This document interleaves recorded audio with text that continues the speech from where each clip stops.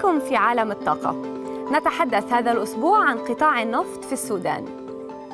فرغم خسارته للقسم الأكبر من ثروته النفطية مع انفصال الجنوب يبقى السودان بلداً منتجاً للنفط وهو بأمس الحاجة للإيرادات النفطية إن كانت ناتجة عن إنتاج النفط من أراضيه أو مرور نفط الجنوب عبرها.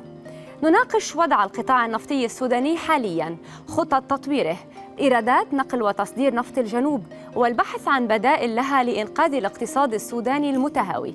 السودان ودوامة النفط موضوع حلقة اليوم من عالم الطاقة.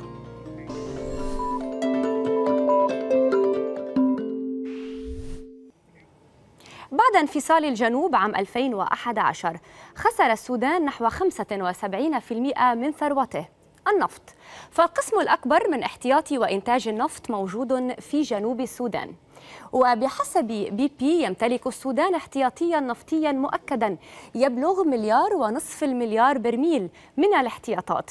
يقابله ثلاثة مليارات ونصف المليار برميل من الاحتياطات المثبتة في جنوب السودان كما في 2013 ويقدر إنتاج النفط في السودان بنحو 130 ألف برميل يوميا ويطمح السودان لزيادة إنتاجه من النفط.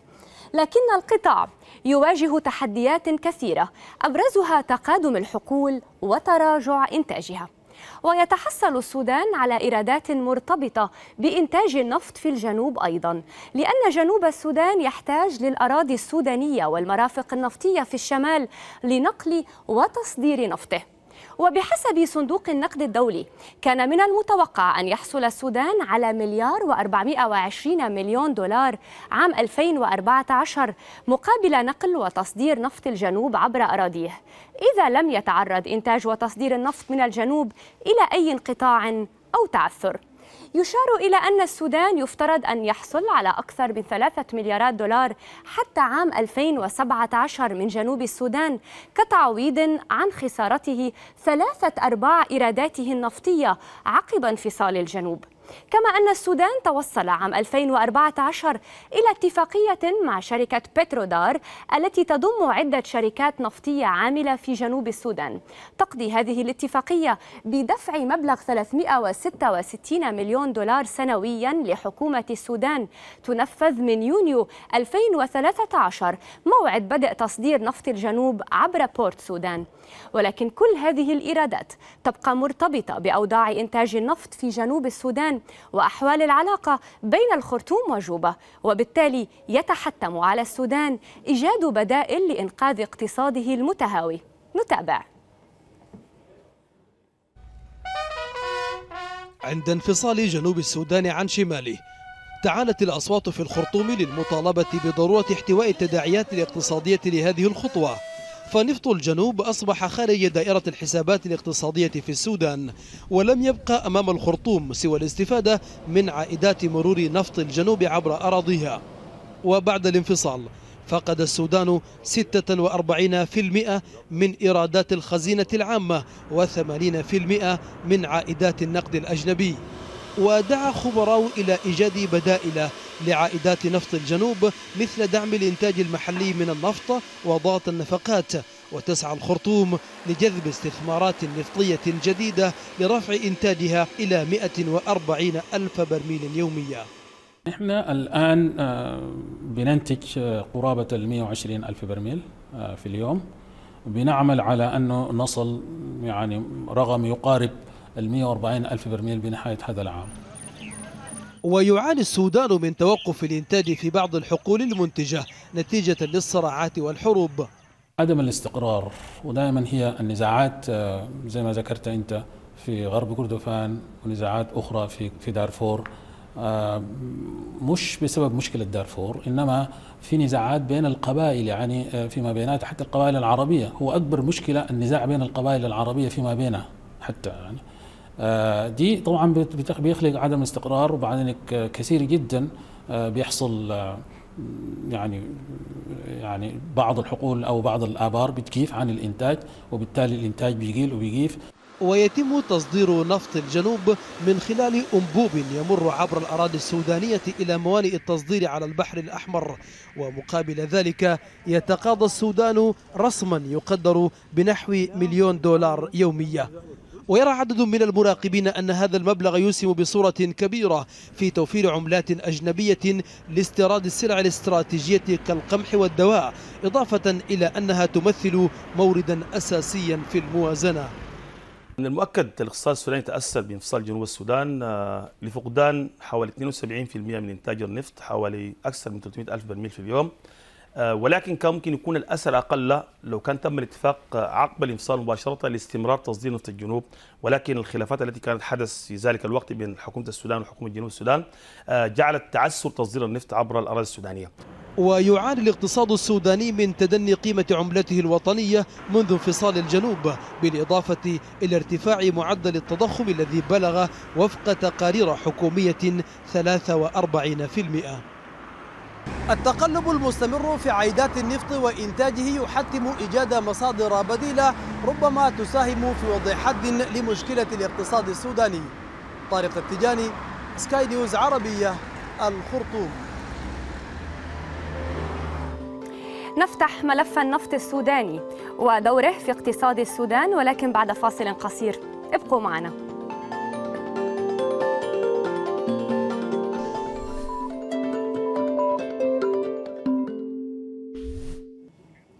نتحدث هذا الأسبوع عن نفط السودان وينضم إلينا مباشرة من الخرطوم وزير الدولة لشؤون النفط في السودان حاتم أبو القاسم. معالي الوزير أهلا بك في عالم الطاقة. طبعا بداية قبل أن ندخل في تفاصيل أوضاع القطاع النفطي والخطط والعلاقة مع جنوب السودان أود أن أعرف منك آخر تحديث لمستوى إنتاج النفط في السودان حالياً. طيب بسم الله الرحمن الرحيم. آه في البداية أنا شاكر جدا لقناة سكاي نيوز اهتمامها بقضايا السودان وبقضايا النفط. ومعروف أنه النفط يعني واحد من المقومات الأساسية لاقتصاد أي دولة. آه فلذلك نحن شاكرين جدا لقناة سكاي نيوز لاهتمامها بهذا الملف. ونحن بنأكد أنه نحن في السودان في إدارة ملف النفط وفي وزارة النفط. مهتمين جدا بكل القضايا الخاصة بالنفط. والإنتاج في السودان آه الآن بعد الانفصال يتراوح ما بين 110 لحدود 120 ألف برميل في اليوم من مناطق من ثلاثة مربعات مختلفة مربع شركة Greater Nile وشركة Star Oil وشركة Petro Energy ودي ثلاثة مربعات هي منتجة للبترول في السودان. نعم. قبل أن نتابع معالي الوزير أود أن نستعرض سويا بعض التعليقات التي أتتنا على قنوات التواصل الاجتماعي. كنا قد سألنا بعض الأسئلة المرتبطة بهذا الملف. بداية سألنا هل أنت راض عن إدارة الحكومة؟ لملف النفط في السودان ولماذا؟ جاءتنا مجموعة من التعليقات اخترنا بعضا منها. محمد صديق يقول إنه غير راض عن السياسة النفطية السودانية بسبب انعدام الشفافية وعدم وجود خطط متكاملة للنهوض بالبلاد في مختلف المجالات الإنسانية والاقتصادية والاجتماعية. محمد إبراهيم أحمد يقول السودان يجب أن لا يعتمد على النفط كليا وأن يستخدم عائدات البترول وقت الأزمات فقط لأنه دولة زراعية ويجب أن يستفيد من موارده الطبيعية. محمد هاشم أيضا يقول إنه غير راض عن السياسة النفطية للسودان ويتساءل هل بقي في السودان نفط؟ سؤال آخر كان ما هي البدائل التي يمكن أن يلجأ إليها السودان لتعويض التراجع في إيراداته النفطية وتقليل الاعتماد على رسوم نقل نفط الجنوب؟ عادل محمد يقول يجب أن يضع السودان خطة طموحة للنهضة في مدة أقصاها 12 عاما مع الاهتمام بالموارد البشرية. دلال نادي تقول يجب القضاء على النزاعات والحروب وإعادة تجديد المصافي القديمة وبناء أخرى جديدة. محمد عبدو السودان يقول السودان سلة الغذاء العربي ويجب أن يطور الميزة بالإضافة إلى وجود المعادن بكثرة وتطوير قطاع الصناعة. سيد حاتم طبعا هذه التعليقات تفتح الباب أمام مجموعة من الأسئلة إذا صح التعبير. بداية كيف تعلق أو ترد على المواطنين الذين يعتبرون أن يقولون أنهم غير راضين عن تعاطي الحكومة مع ملف النفط في السودان؟ طيب بسم الله الرحمن الرحيم. أنا بفتكر إنه الحكومة يعني تعاطت مع مع ملف النفط. تعاطي كان فيه جدية كبيرة جدا. والدليل إنه في أقل من 15 سنة السودان كان بيتمتع بإنتاج من النفط نمرة واحد وبيتمتع بأطول خطوط بتاعت أنابيب آه، لنقل النفط في آه، في منطقة يمكن تكون أفريقيا كلها والعالم العربي. والسودان كذلك بيتمتع بعدد من موانئ الصادر والسودان كذلك بيتمتع ب بيتمتع كذلك بعدد كبير جدا من المضخات على على امتداد خطوط الأنابيب. والسودان الآن بيتمتع بعدد أربع مصافي وثلاثة مصافي منها تعمل بكفاءة عالية جدا. وفي مصفى لعدم انعدام الخام المناسب. بالنسبة له ده كان متوقف اللي هو مصفى بورسودان نعم. السيد انه حاتم السودان بنى ترسانه قوية جدا. مم. السيد حاتم طبعا الكثيرون تساءلوا مع انفصال الجنوب. طبعا نحن نعلم أن القسم الأكبر من النفط موجود في الجنوب. السودان خسر كثيرا من ثروته النفطية. ولكن هل ما هو وضع الثروة النفطية حاليا في السودان؟ يعني وزير النفط كان قد قال في وقت سابق ربما نشهد تغييرا في خارطة النفط في السودان. هناك توقعات تشير وز- وجود احتياطي أكثر مما كان متوقعا في السابق. هل هناك استكشافات جديدة؟ هل هناك خطط لجذب استثمارات أجنبية للتنقيب في مناطق جديدة في السودان؟ طيب نحن بالنسبة لنا فعلا بعد انفصال الجنوب آه، بيكون في 25% من من من المصادر حقة النفط. 75% من مصادر النفط هي اصبحت أصبحت تقع جنوبا. آه، لكن البنية التحتيه البنية التحتية الكبيرة اللي هي الخطوط الانابيب وكده كلها اصبحت أصبحت شمالا. ولعله ده واحدة من الأسباب ولعله ده واحدة من الحياة الأساسية اللي بنفتكر انها واحدة من من من من من من, من تقدير الله سبحانه وتعالى إنه يربط الشعبين ببعض يربط شعب الجنوب وشعب شعب الشمال مع بعض بخطوط الأنابيب ال- الممتدة اللي أصبحت كشريان حيه بالنسبة للطرفين. آه نحن في في في شمال السودان زي ما عارفة أختي الكريمة نحن الاكتشافات اللي في الجنوب هي حققتها حكومه الحكومة الآن الموجودة في الخرطوم. وهي قادرة إنها تعمل نفس ال ال ال ال ال ال الاكتشافات في الشمال. نحن الآن في الشمال عندنا اكتشافات وعندنا اكتشافات جديدة في في في مناطق مختلفة. يعني إحنا الآن كانت الإنتاج حقنا من شركة Greater Nile اللي هو في block 2 and 4 2 و4 و block 6 نحن الآن عملنا إنتاج جديد في مربع 17 وهو مربع من المربعات الجديدة. فيه إنتاج ماشي كويس وإضافة إنه هو لل- للمخزون الاستراتيجي بتاع السودان إضافة إضافة جديدة. عندنا مربعات زي مربع سبعة اللي هو مربع كان بيتبع لشركة بترودار وده الآن مربع واعد ونحن برضه هنعمل فيه شغل كبير جدا إن شاء الله. وكذلك عندنا مربع 8 وده مربع غني جدا بالغاز. وده كله هيحصل فيه اكتشافات ونحن هنضيف به وهنعمل نقلة كبيرة جدا في الإنتاج بتاع النفط وكذلك في إنتاج الغاز. نعم. إن شاء الله. كيف تصف العلاقة بين الخرطوم وجوبة حاليا بالتركيز على ملف النفط بالتحديد؟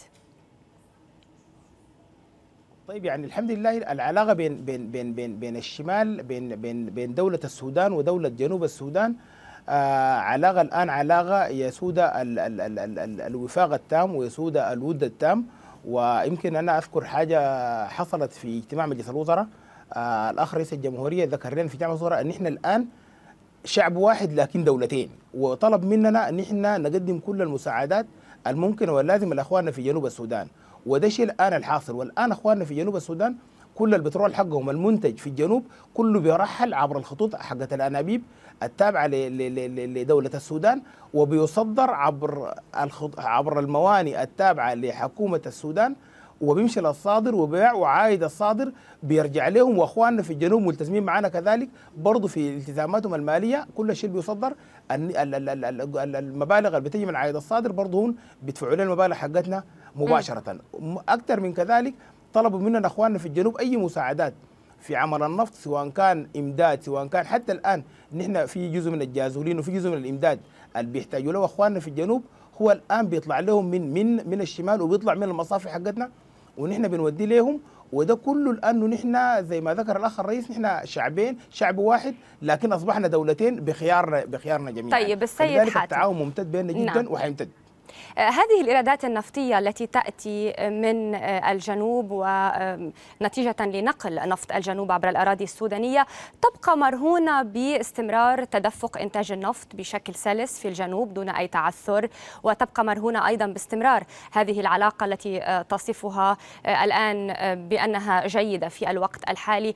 هل يبحث السودان عن بدائل لتعويض أي تراجع في إيرادات النفط وعن تعويض دور النفط في الاقتصاد خصوصا بعد خسارة قسم كبير من الثروة النفطية بعد انفصال الجنوب. هل هناك بدائل يعمل عليها السودان الآن بدائل اقتصادية؟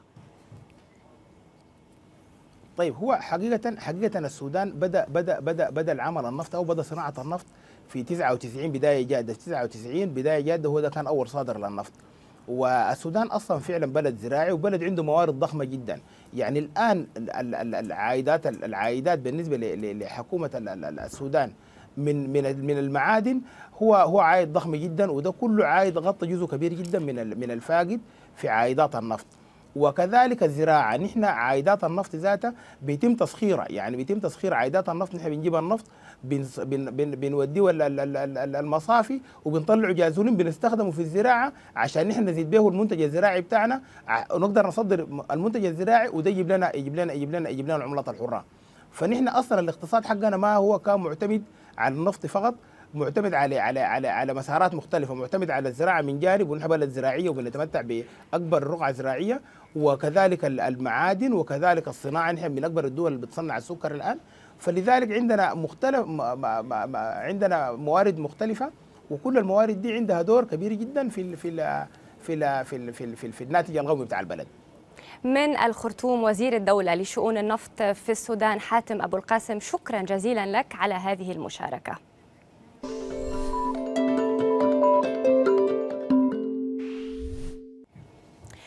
قبل أن ننهي هذه الحلقة اخترنا لكم من عالم الطاقة معلومة حول احتياطي النفط الاستراتيجي. الاحتياطي الاستراتيجي هو المخزون النفطي الذي يكفي احتياجات البلاد المستهلكة للنفط ومشتقاته.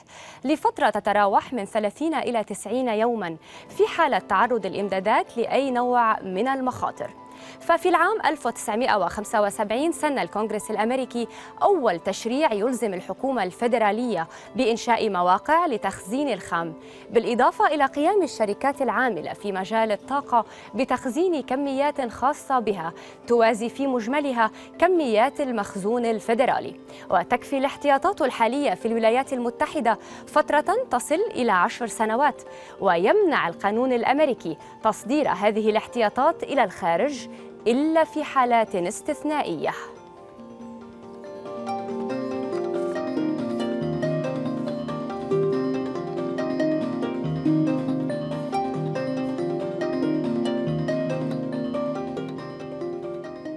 بهذا نصل إلى ختام هذه الحلقة. نلتقي الأسبوع المقبل مع قضية جديدة من عالم الطاقة. إلى اللقاء.